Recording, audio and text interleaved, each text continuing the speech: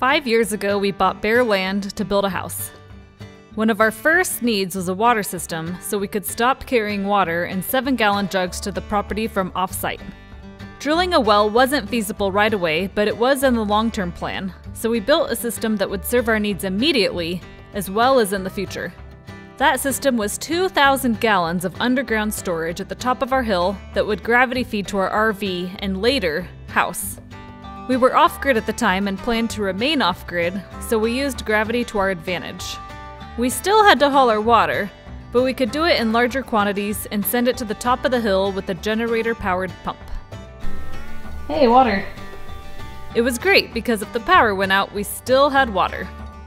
We finally dug a well and installed a water softener. I don't want to get too excited. I yet. know. It's hard, right? It's hard. But when the well drill is getting excited, it's hard to not feel the excitement. It is. It's exciting. It's an exciting day. But because the well stands alone, we still have to run hoses around the property to put the softened water in our storage tanks.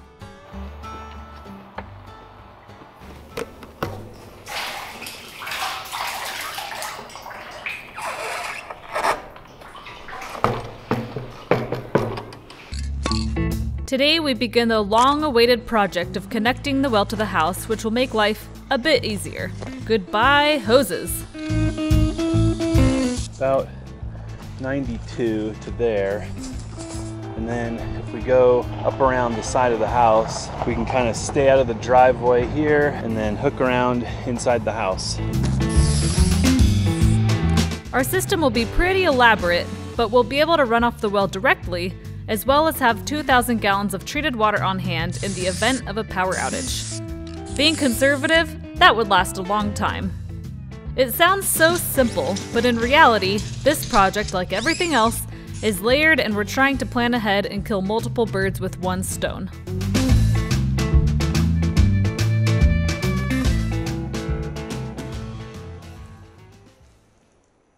So this is a really rough layout of the property. Our well's here, and what we need to do is trench from the well along the slope here, around the side of the house and into a sleeve that we poured into the concrete when we poured our foundation. And that will take us right into the mechanical room. And then we have a lot of work to do in the mechanical room to get the water flowing into the house plumbing. We're also planning on installing a couple of frost-free hydrants while we're at it. We're gonna tap the line and put one out here by the well. That way we can irrigate or whatever we need to do on this side of the property without running hoses across the driveway. We're thinking in the future we may have some small orchard or some trees along here for fruit. And then we're gonna place another hydrant over here in the corner for irrigating this area or washing equipment or cars. And we're eventually going to have our wood-fired boiler over here. And so we're gonna be installing a couple of additional things in these trenches. We're gonna be installing Thermopex in this trench too, and that's gonna connect to the wood boiler that will help with the radiant heating system. And that also will need electricity, so we're gonna bury a conduit, and that makes sure that we're basically primed, so whenever we get that wood boiler installed, we've got everything there just to connect it up. The thing about this project is this sleeve we only want to dig up once because we're going to have to expose the drain rock on the house and it's very layered.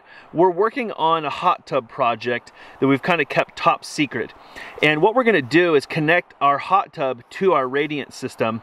And when we get this wood-fired boiler connected, it's actually gonna heat the hot tub for us. And so our wood-fired hot tub is gonna be history. All right, so we're gonna have to trench also for this Thermopex that's gonna end up at the hot tub. And because of that, we only wanna trench one time here at the corner of the house. So we're gonna add this project to the water line. As you can see, it's never as simple as, oh, I'm just gonna dig a line and stick a well into my house and be done with it. We do have to cross a couple of things. We've got power to the well and a footing drain. So we'll be working through those things. This project is gonna be absolutely massive. It's probably gonna take us three or four days minimum just to get this portion done well and get into the house. And then in the future, we'll work on getting everything hooked up inside the house. As a temporary measure, we just put a uh, spigot on the end of this well and we've been able to just cycle it with the breaker. The uh, well person is coming. We're gonna get this dug up and they're gonna install a pitless adapter well below grade so that it will be frost proof and we'll have to get this all fixed up. But we're gonna start working on getting the trenching done. Um, I had to spend a lot of time doing a bunch of ornate measuring because we need to make sure that we have enough two inch poly to make this happen. If you jump back to our original water system videos, you'll see us using this two inch poly on our gravity fed water system from the top of the hill down to this two inch fire hydrant. We actually have a bunch of it left over because the type of pipe that we're using, which allows us to use compression fittings, is only available in a 500 foot roll. So we bought the mother load when we did our original water system and we've had this laying around for years. It'll be awesome to go ahead and use it up. A project of this magnitude would have scared the living daylight out of us five years ago. But since we now have the know how and the tools for the most part, it simply comes down to doing the work. All right, that sleeve is seven feet from the top of the ICF, so we got to go down four and a half feet to find it.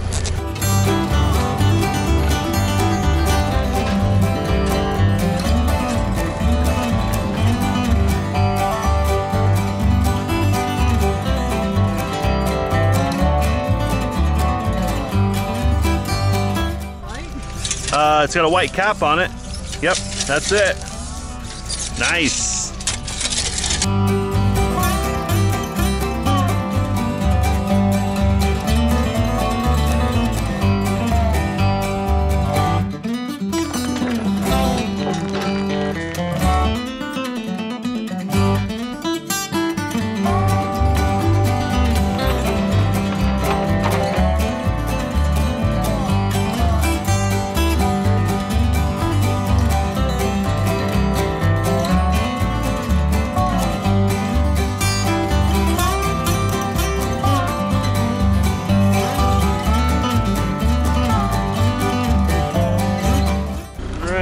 That's it. We are there. A little bit of shoveling to do.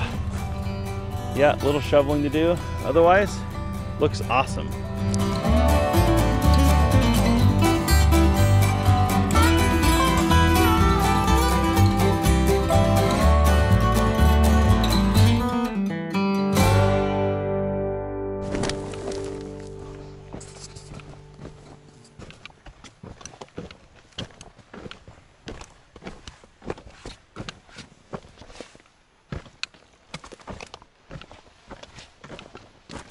Hydrant goes down in there. Mm -hmm. And probably we'll turn it this way.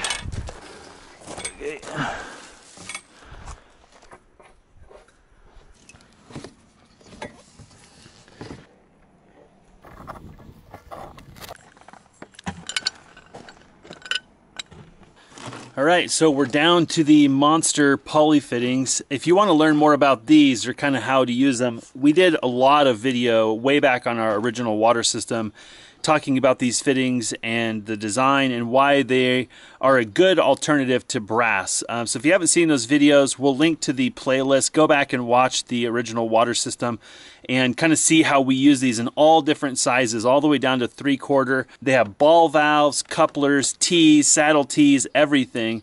And the nice thing is you can do a lot of stuff that you can't do with brass. So give that a check. It's super interesting. So basically, this is a two inch compression to two inch iron pipe, uh, female iron pipe. And that'll come off the end of our fitting in the house. And then we'll put our two inch ball valve on the end there. Here's a two inch main. We're gonna use this to isolate the well. That way we can actually turn the well off and run the water backwards in our system. We'll talk about that more later in a future video. This T is gonna be at the well so that we could feed a hypothetical shop that doesn't even exist yet.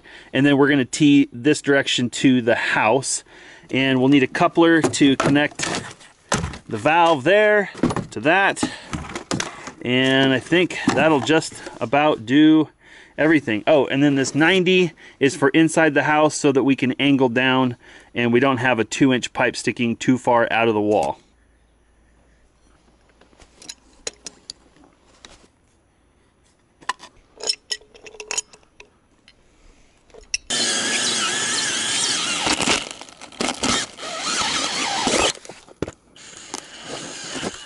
So we have four PEX lines, one, two, three, four, and two conduits. So let's go, let's go here, here, here, here, here, and here.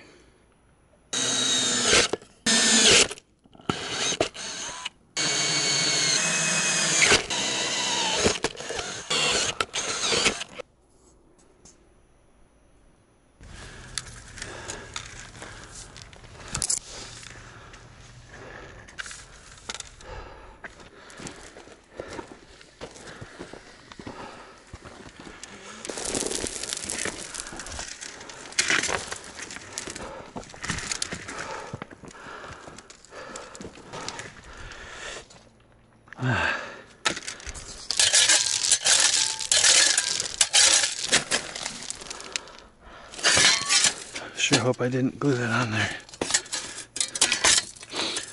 Ooh. Okay, and I think we're gonna put the water on the bottom.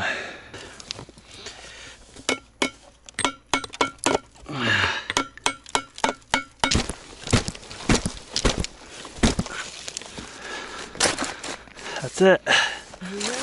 That's the one. Uh oh. Might have to go inside and see what just fell over. Good. How much you have in there? Okay, two feet. Yeah.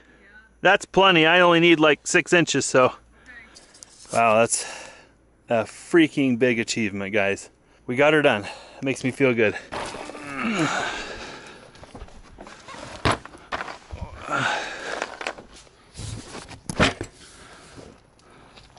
Nice. It's gonna be nice to have a hydrant over here.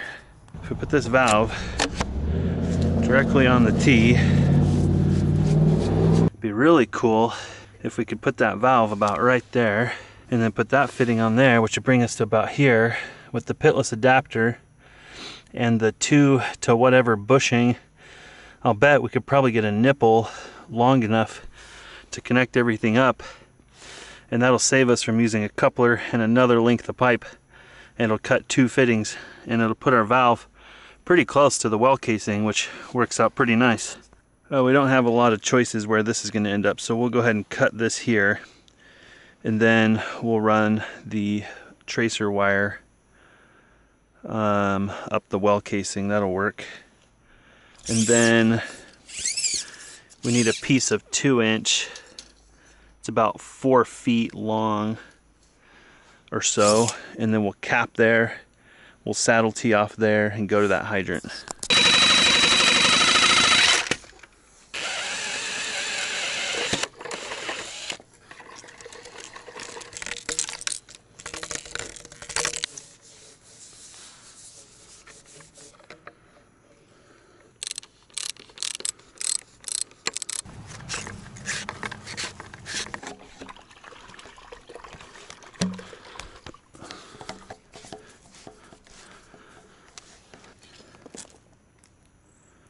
and we're closed.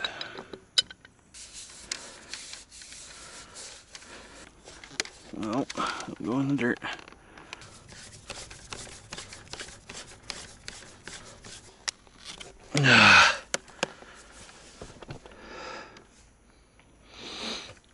Okay, all right, look at that. We're in business.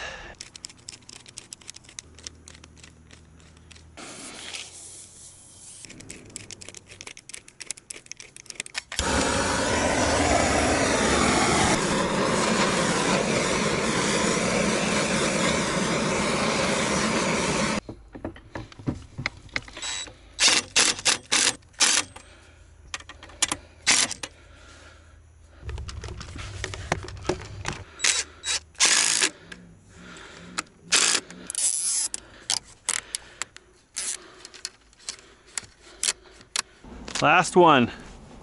Oh my gosh, that's heavy. Ugh.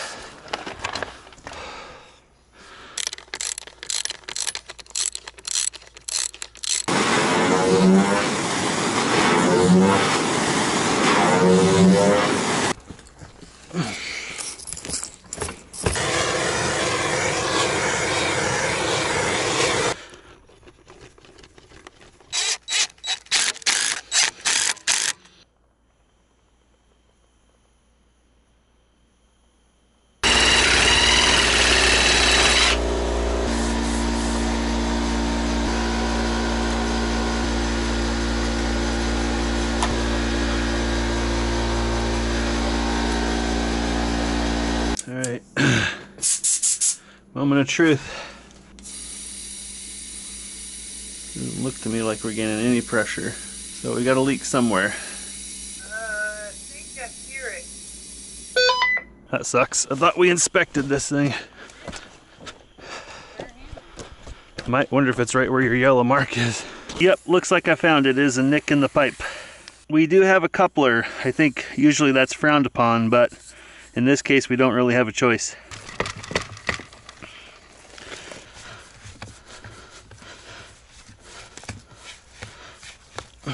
Let me know if you're building any pressure.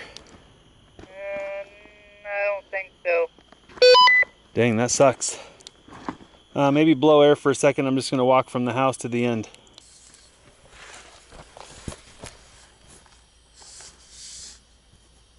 Okay, found another leak, and ironically, it's right where we spray painted. I'm wondering if we replace the section of pipe after the coupling, if we have enough pipe, we might be able to replace this section down to the valve and maybe get rid of that piece, and maybe we're in luck. Copy that. Yeah, we got a crap ton of pipe left. Yeah, if we can just find a good section, maybe we're in luck.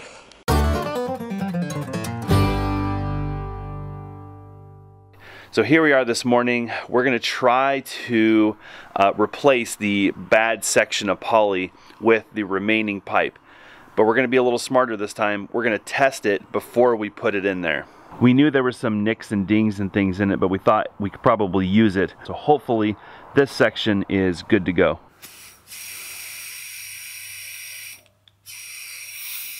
Got a leak? Yep. Okay.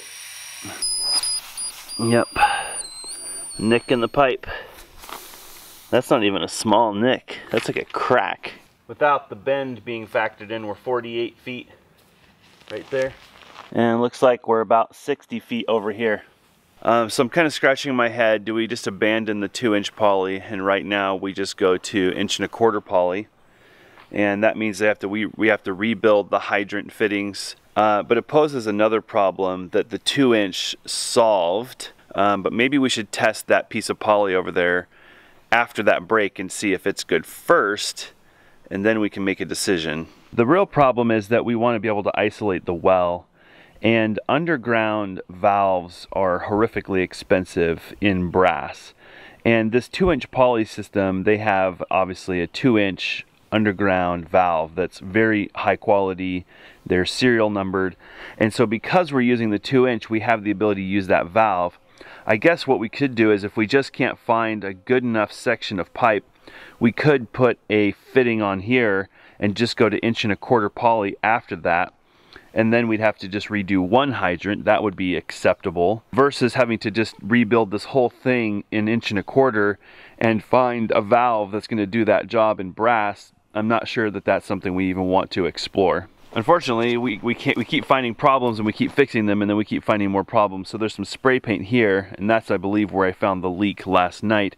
Yet another ding in the pipe. So we must have really manhandled this stuff because this stuff's practically indestructible. So I'm not sure what happened to it but we've got leaks. So if we can get from here to there without any leaks and the system will hold air for a while I feel good about all those fittings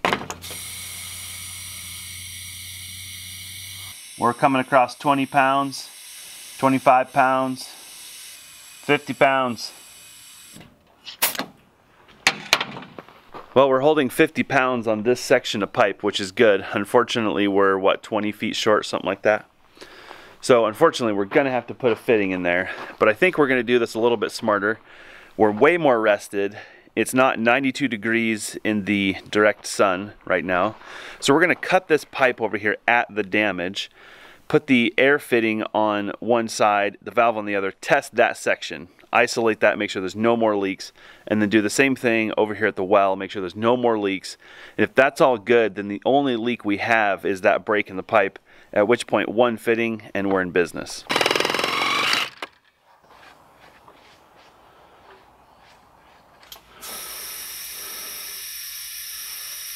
We're coming up in pressure already. Let's see if it'll just hold that 10 there. Nope. Losing pressure. Yeah, I found it. It's a big one. So we got another break in the two inch poly is what you're telling me. Yep. Another one. Holy sh- wow. Getting punished. Can't even see it. Can't get at it. On the bottom there. Yeah, Okay. Right there. Okay.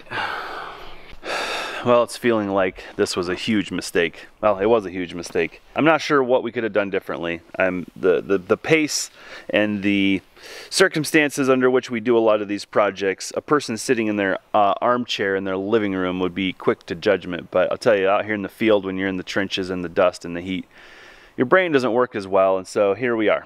Here we are. We've got a bunch of crap two inch poly. Put a bunch of money into fittings trying to save the poly. And here now we're going to have to go back to inch and a quarter. I just don't think it makes any sense to have all these fittings under the ground to make this pipe work. So I think we're going to air test down here at the well, make sure that our valve, our cap, and the hydrant all down, down there work.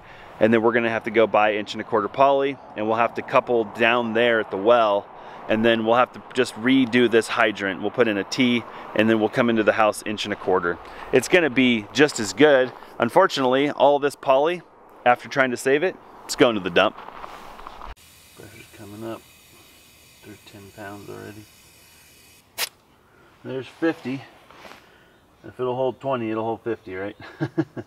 so we're good from there. So we can just go to inch and a quarter poly there and we'll just go have to refit that other hydrant. I guess that's the least of all evils right there.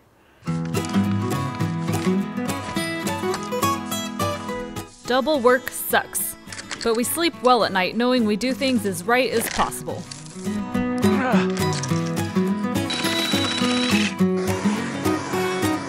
The inch and a quarter fit into the two inch poly like a glove, helping us get into the house. We got lucky, I guess. Thank goodness.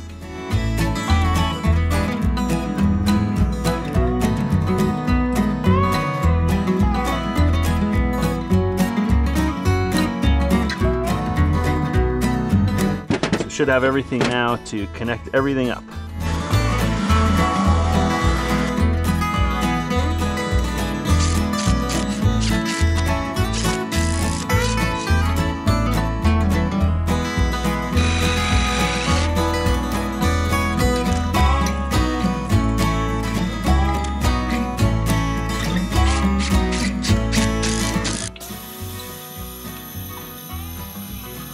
Pressure's coming up already, so that's a good sign.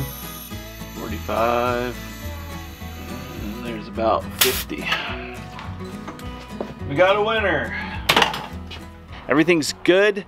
Uh, we got photographs and everything for the inspector. We've got our tracer wire redone. We had to undo that.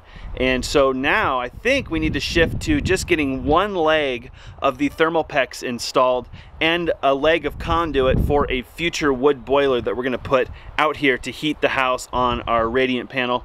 That's a totally different video, but we've gotta get those two things done and then we're ready to backfill this trench up to the well. And then we'll have to wait for the well guy to get over here and make the final connection and then we'll have water in the house. It's said that this Thermopex is so efficient that it only loses about 1 degree of heat per 100 feet. It's also extremely expensive. Of course, there's DIY ideas to accomplish the same thing, but we're choosing to go expensive for top quality.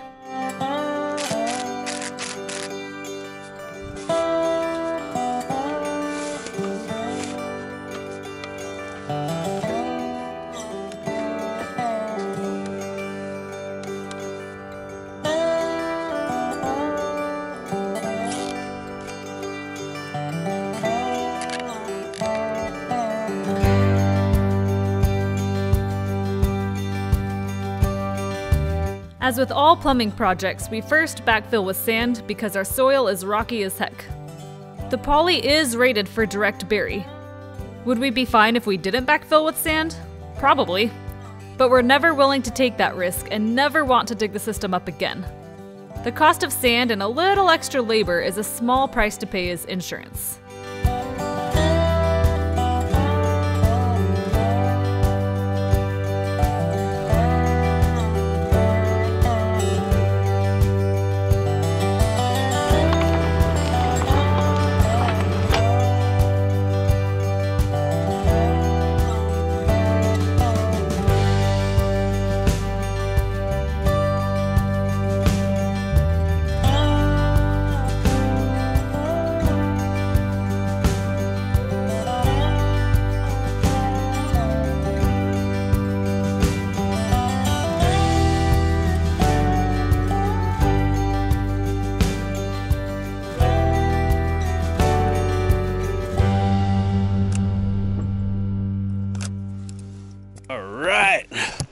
185 feet of trench bedded with sand. That feels amazing. Now, these extremely inconsiderate rocks can fall in all night. Don't care. We're going to get pizza.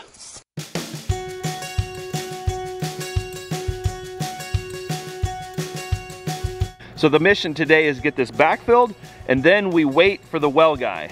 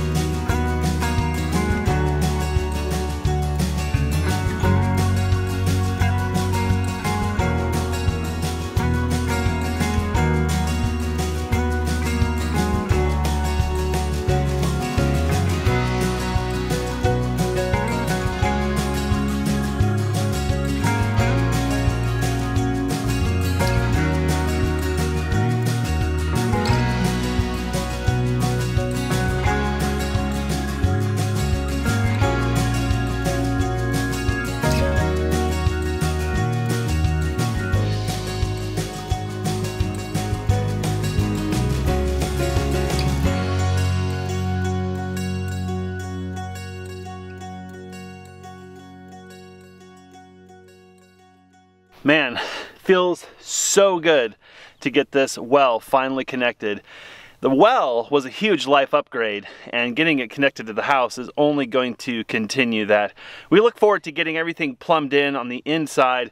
We're not there yet. We have a lot of lot of work to do. We have a lot of the components, but for now, this is the big animal is getting all these trenching projects done and getting everything backfilled and buried while the weather's still prime. Uh, we did do a pressure test on the well the other day when we had the uh, pitless adapter put in and everything held pressure good.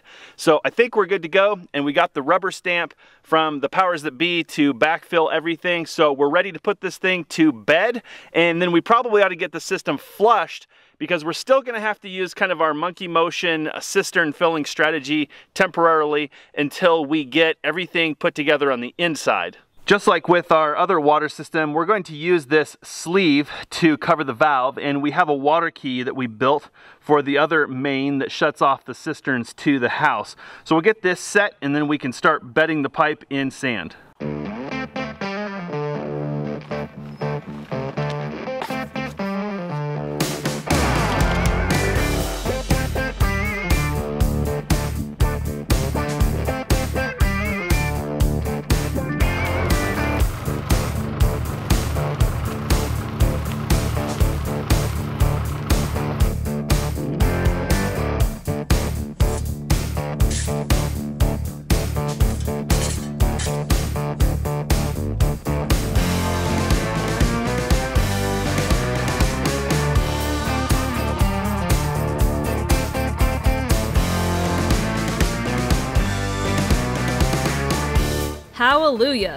And after days of work, things look, well, about how they did before. A job well done.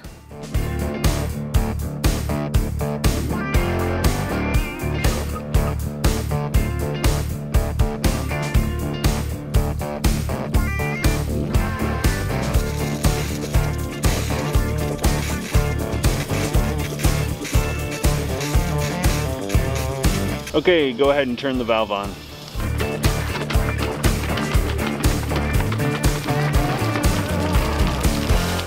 Okay, looking really good. Go ahead and turn that valve back off for me.